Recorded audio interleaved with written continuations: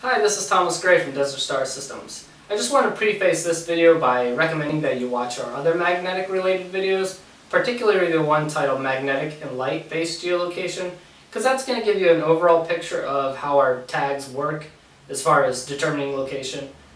so this video I just want to kind of give you a, a good idea or a better idea of reasons that you should use a tag that has a magnetometer versus one that is just based on light.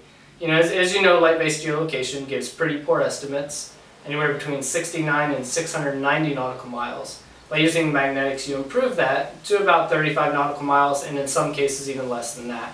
So that's, I mean, that's primarily a reason to use magnetics, but additional uses are on animals that don't enter the light zone, like sablefish, uh, halibut, other ground fish, um, lobsters, crabs, really anything that stays in deep, dark waters, or freshwater fish that live in turbid waters, like catfish, for example, or, or different gar species. Like anything that is going to be in turbid waters, deep waters where light doesn't penetrate, SeaTags are the only tags that are going to get you data that you really need. They'll give you migration data. I mean, you'll just get latitude, but that's better than nothing. And on top of that, they certainly cost less, the sensors are better, and various other reasons that you should use a SeaTag. But I just really want to talk about magnetics here.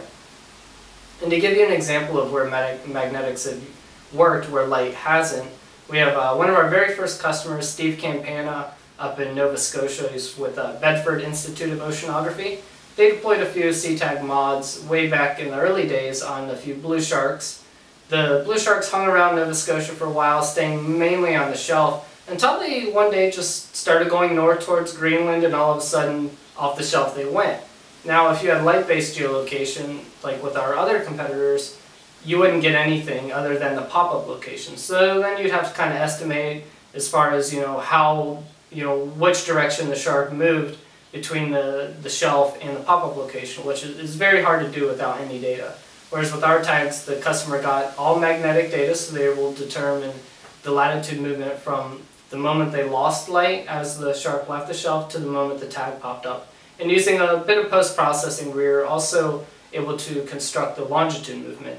Not as accurately, but still using the latitude and the magnetics and the field intensity lines, we were able to construct movement where light-based geolocation absolutely wouldn't work. And we see that not only in Campana's work, but in other customers like Brian Morse, who put some tags on some lobster, and those lobster will never see the light.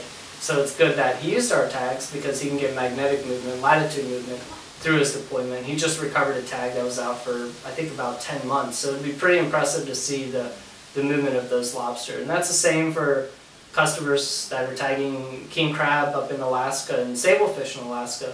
They wouldn't get anything but a pop-up location and a deployment location if they used light-based geolocation. So magnetics is a really powerful tool for animal migration and we're happy to answer any questions that you have. And check out all the other videos that we're going to show about magnetics, such as reviewing the Earth magnetic field map to give you a better understanding of what you might expect in locations throughout the world, and just general stuff like that original video about might, or magnetic and light-based geolocation. You should certainly watch that to get a, a good overview of technology. But as always, any questions, just post them in the comments or email me directly and I'll be happy to answer them. And and suggest uh, you know videos like this one here, you know, asking various questions about our tags, and we're we're happy to help you. So hope you have a great day and enjoy this video. Thanks.